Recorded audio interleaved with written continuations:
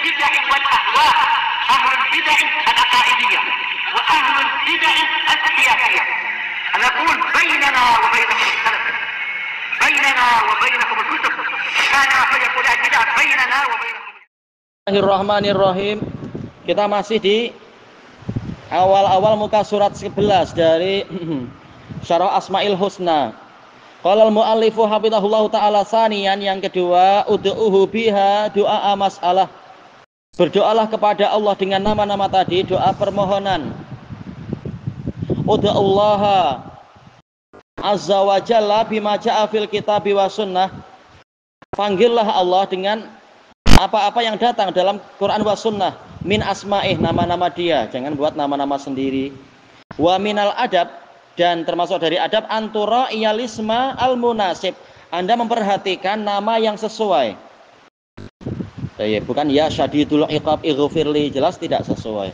Walaupun halal masih halal. Tapi tidak sesuai. Limu ketadol hal yang sesuai dengan tuntutan keadaan.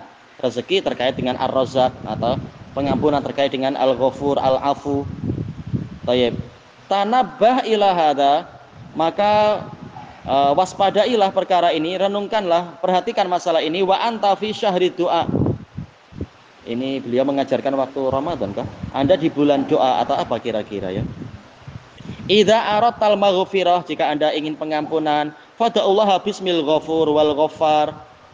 Wa idza aratal rahmah ingin rahmat, fada'uhu bismihir rahman war rahim.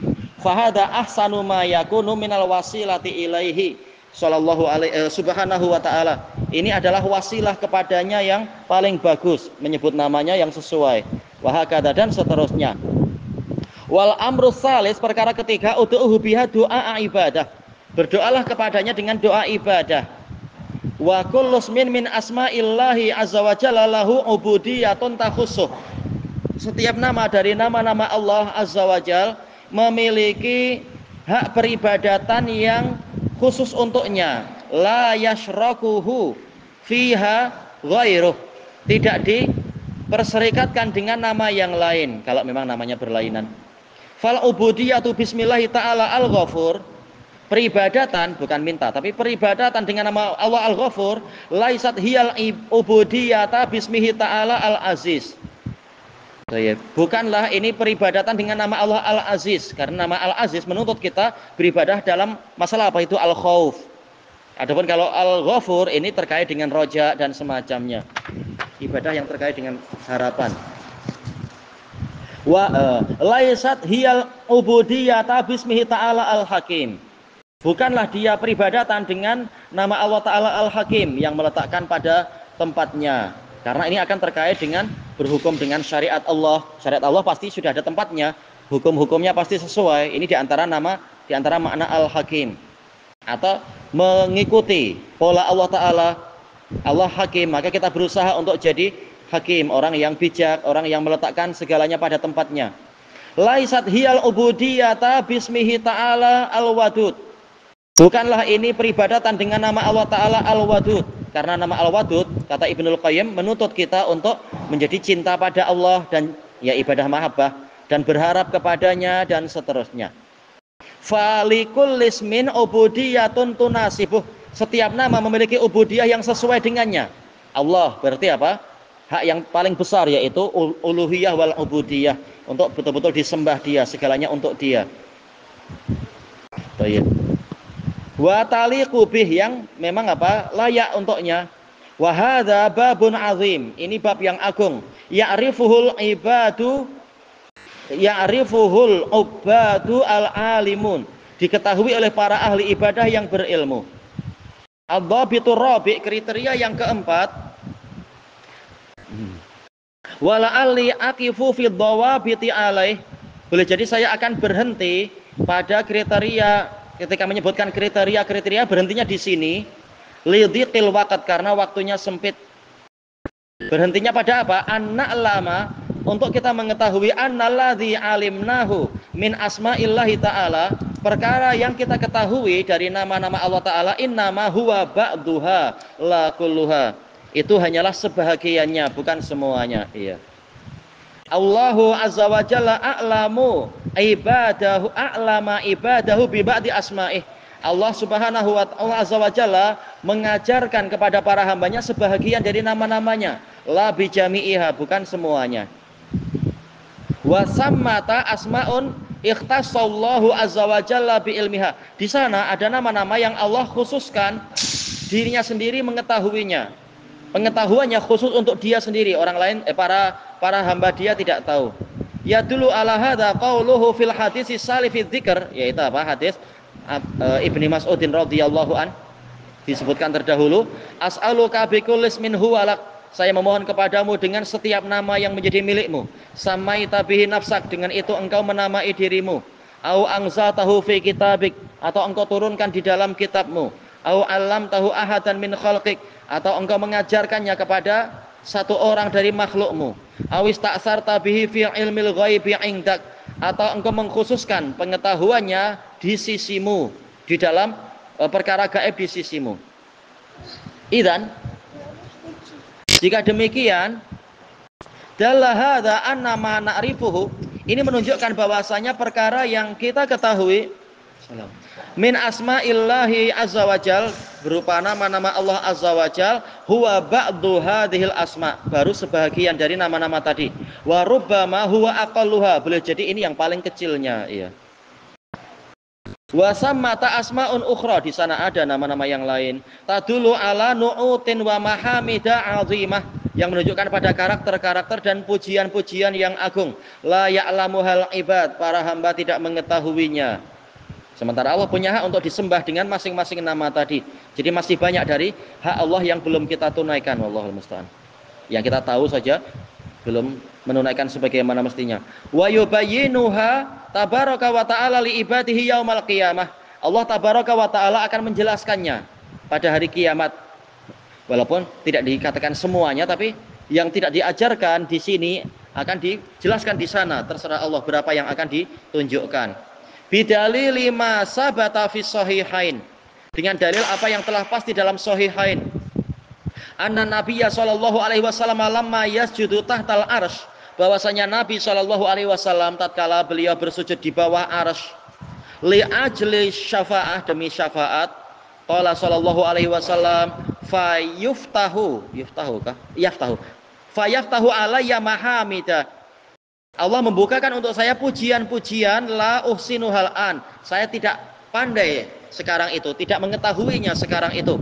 Kata Syekhuna Ahmad Asyami hafizahullah taala, maksudnya adalah mahamid ini boleh jadi berupa nama, boleh jadi berupa sifat. Karena Allah dipuji dari sisi nama dan sifatnya.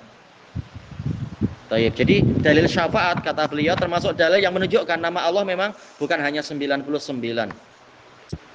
Wallahu azza wa jalla innama yuhmatu Baik, jadi di sini Syekh Soleh Syami juga mengatakan pola macam itu. Allah azza wa jalla hanyalah dipuji bi asma'ihi wa sifatih. Wa sifatih. Tabaraka wa ta'ala. Beliau dipuji, Allah dipuji dengan namanya dan sifatnya. Hadhihi muqaddimatun mumahhidat ini adalah kata-kata pengantar sebagai tahapan-tahapan, memberikan tahapan lifahmi untuk memahami wadarki dan mengetahui masayati apa yang akan datang min ma'rifati asma'illahi tabaraka wa ta'ala. Ya subhanahu wa ta'ala. Masuk ke muka surat 12. Qala al-musannifu rahimahullah Imam As-Sa'di Faqad takarrara katsirun min asma'illahil husna telah terulang banyak dari nama-nama Allah yang maha yang paling indah fil Quran dalam Quran bihasabil munasabat. Sesuai dengan bihasabi sesuai. Munasabat apa ya? Sesuai. Sesuai dengan apa kita artikan munasabat ya? Munasib sesuai. Kesinambungan. Kesinambungan. Mungkin ya. Sesuai dengan kesinambungannya. Wal hajah da'iyatun ila tanbihi ila ma'ani hal jami'ah hajat kita menyerukan untuk kita, untuk ya, untuk mengingatkan kepada kita semua agar kita memahami makna-maknanya yang bersifat menyeluruh. Hmm, ada ila ila ya, da'iyatun ila atanbih ila juga. Fanakul maka kita katakan kotaka roro ismur rabb. Wah, ini banyak sekali jelas. Telah terulang nama Ar-Rabb fi ayatin kasirah dalam ayat yang banyak. Al-Baqarah sudah berapa? Asyarah. Kalau Syekh Ahmad, uh, kalau Syekh Soleh Asyami, Hafidahullah, takarrara kasiran fi kitabillahi azza wa jalla dzikru asma'ihi al-jalilatil azimah tabaraka wa ta'ala. Nah, telah terulang banyak sekali di dalam kitabullah azza wa jalla disebut di, e, penyebutan nama-namanya yang agung dan besar. Tabaraka wa ta'ala. Wa dzalika azimi hajatil ibad. Sebabnya adalah karena besarnya hajat para hamba ila zalik kepada perkara tadi. Wa anta idza ta'ammalta dan jika Anda merenungkan, qala anta jida ayatan. Jarang sekali Anda mendapatkan suatu ayat lam yudkar fi asna'iha yang tidak disebutkan di pertengahannya au khatimatiha atau di belakangnya ismun min asma'illahi tabaraka wa ta'ala azza wa jal Tayyib. Bahkan mungkin apa di awal-awalnya qul huwallahu ahad Allahus samad lam yalid walam yulad walam yakul lahu kufuwan ahad Iqra bismi rabbikal ladzi khalaq. Tapi yang awal memang tidak sebanyak yang pertengahan atau akhir. Baik. Kemudian kata beliau di sini warubama aksar boleh jadi itu yang paling banyak. Wahada yaduluk ini menunjukkan pada anda annal hajata ila dzalika aziman. Azimah. Hajat kepada perkara ini besar seperti yang dijelaskan oleh Syekhul Islam di dalam apa itu Fatwa Al-Kubra. Semakin besar hajat makhluk kepada suatu perkara, semakin Allah permudah ilmunya dan memperbanyak pengetahuannya. Tatkala yang paling besar adalah pengetahuan tentang Allah, paling besar hajatnya, maka Allah memperbanyak jalan ke situ dan mempermudah, bukan mempersusah. Fa inna min sunnatillahi subhanah karena sesungguhnya termasuk dari sunnah Allah subhanah annahu kullama hajatul ibad semakin besar hajat para hamba ila syai' kepada suatu perkara fa inna Allah taala yatafaddalu bihadza syai'i aksar maka sesungguhnya Allah mengur, mengkurniakan perkara ini lebih banyak. Nah, ini akan bersambungan dengan kenapa untuk cerita Nabi Musa lebih banyak jauh daripada apa? Cerita Nabi Yusuf misalkan. Padahal semuanya penting, semuanya bagus. Jelas orang sangat memerlukan masalah bagaimana menghadapi kedengkian orang lain.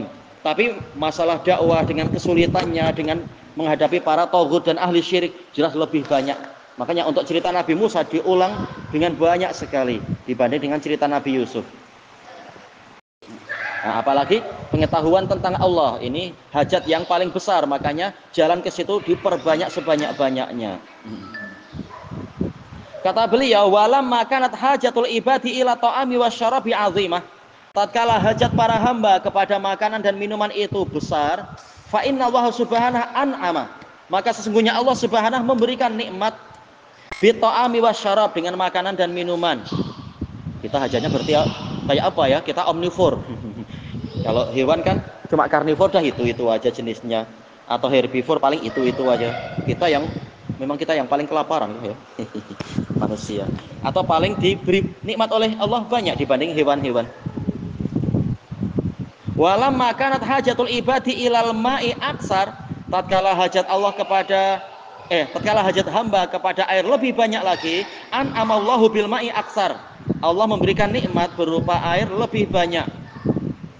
Mana yang lebih banyak ya? Air atau makanan? Jelas hajat kita pada air lebih banyak memang. Cuma untuk berapa mana yang lebih banyak? Makanan atau minuman entah. Cara cara mengukurnya tak tahu. Walam makanat hajatul ibadi ilal hawa aksar. Wah ini jelas. Tatkala hajat para hamba kepada udara lebih banyak wa aksar ya lebih banyak dan lebih banyak lagi an amallahu bil hawai aksar wa aksar. Allah memberikan nikmat berupa udara lebih banyak lagi dibanding makanan dan minuman. Sahih. Allah musta'an. Dan kita alhamdulillah tidak membayar satu satu sen pun Allah maha baik wala syaka anna hajatal ibadi ila ma'rifati asma'i dan tiada keraguan bahwasanya hajat para hamba kepada pengetahuan tentang nama-nama Allah wa sifatih. Tabaraka wa ta'ala a'zamu min dzalika kullih bagi orang yang akalnya bukan hanya masalah perut dan kemaluan. Hmm. Niscaya dia tahu jiwanya lebih memerlukan mengenal Allah daripada makanan, minuman dan udara itu. Baik. Fa inna ma madha bihi hayatul abdan. Karena perkara yang telah berlalu Di situ ada kehidupan badan.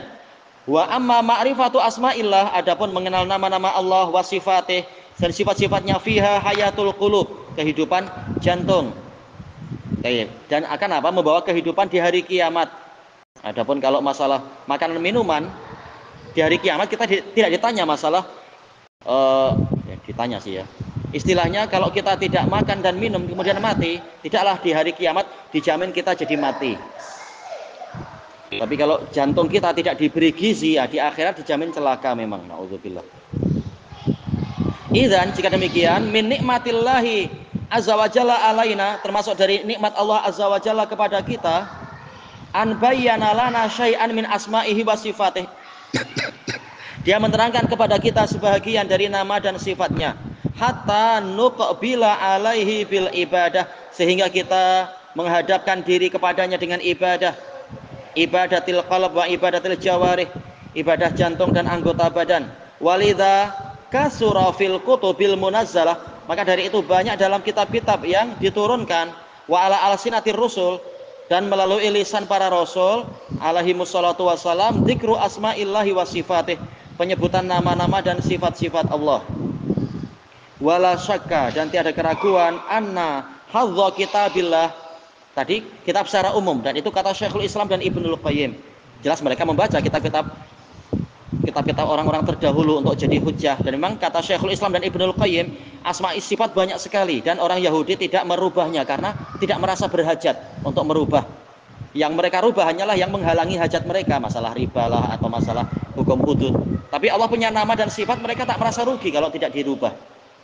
Makanya sampai sekarang tidak e, tidak ada perubahan untuk masalah asma wa sifat. Makanya para ulama tadi mengatakan ini ijma para rasul semua tentang asma wa sifatillahi taala dan uluwillahi taala alal aras dan seterusnya. Tidak dirubah. Dalam kitab suci yang lain ada. Tayyib. Yang berhajat untuk merubahnya malah apa? Orang Jahmiyah dan Asy'ariyah dan sebagainya. Nauzubillah. Dan tiada keraguan bahwasanya bagian yang dimiliki kita billahi alladzi anzalahu ala nabiyyina sallallahu alaihi wasallam yaitu Quran. Min dzalika a'zam ya lebih banyak lagi. Seperti kata Syekhul Islam dan Ibnul Qayyim juga. Asma wa sifat dalam Quran lebih banyak daripada kitab-kitab yang sebelumnya daripada penyebutan di kitab sebelumnya. Mimma kana fil kutubis sabiqah daripada yang ada dalam kitab-kitab terdahulu. Kama bayyana hadza ahlul ilm sebagaimana ini dijelaskan oleh para ulama. Wa nah wa nahmadullaha katsiran ala dzalik kita banyak memuji Allah atas itu sehingga kita lebih kenal Allah daripada ahli kitab insyaallah. Ilahuna wallahu a'lam. Subhanakallahumma wa bihamdika la ilaha illa anta astaghfiruka wa atubu ilaik. Walhamdulillahi rabbil alamin. Jazakumullahu khairan